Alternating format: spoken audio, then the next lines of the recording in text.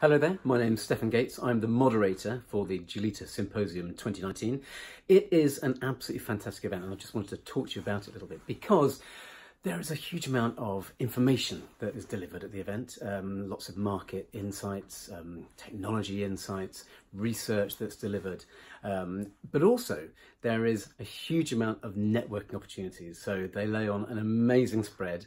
Um, it's all in the beautiful town of Heidelberg and there is some fantastic food and drink. So lots of opportunities to, to mingle and meet new people and, and catch up with old, old friends as well.